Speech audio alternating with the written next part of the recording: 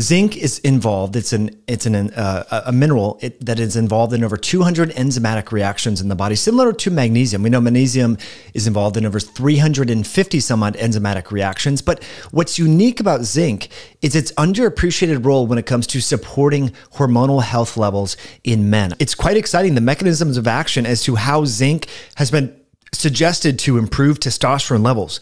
Um, is quite interesting. So we know that hypogonadism affects a lot of individuals, uh, not only just elderly, but now we have many uh, young men that, that are hypogonadal. And it's been recommended that zinc in the dose range of 200 uh, let me just read to you exactly what they say. In general, a common safe recommended dose of zinc would be twice per day for the course of four months of 220 milligrams of zinc. Uh, yielding an equivalent of 50 milligrams of elemental zinc. So you want to look at your manufacturer on this. So in the studies, they use zinc glycinate or zinc sulfate, which is yielding about a, a 40%, 20, 30% zinc. So um, elemental zinc in the in the realm of 50 to 100 milligrams has been shown to improve uh, low testosterone levels in men. In men. And, um, you know, we know the clinical treatment for testosterone in men is often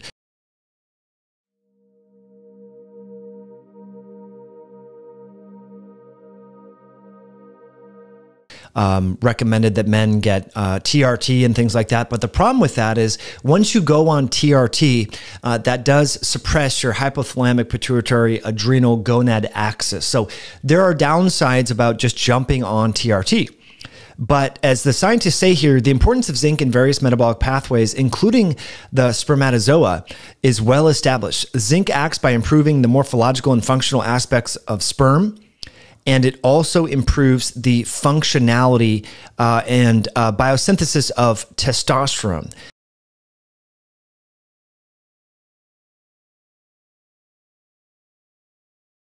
So, again, I want to share with you uh, for those of you that are trying to conceive, you're having maybe fertility problems and you're looking for solutions to improve your, your fertility, uh, consider zinc. There's a lot of evidence to show that zinc actually improves sperm motility.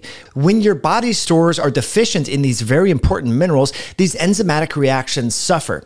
And so that's why it's important to eat a whole, real foods based diet. Avoid phytates and things that will bind up these minerals. And also, if you exercise, if you go in the sauna, if you stress your body in the sauna, you know, hormetic stress is good, but when you sweat, you actually release zinc as well as sodium and other minerals as well. So you might want to consider if you're experiencing low testosterone, supplementing with 50 to 100 milligrams of zinc.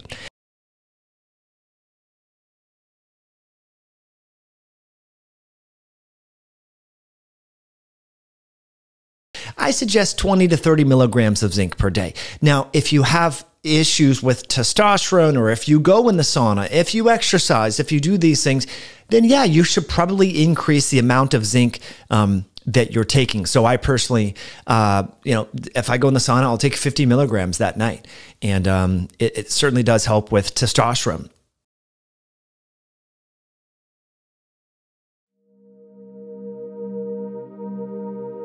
DoctorsToTrust.com, world's number one site for short, annotated nutrition videos designed to share with loved ones.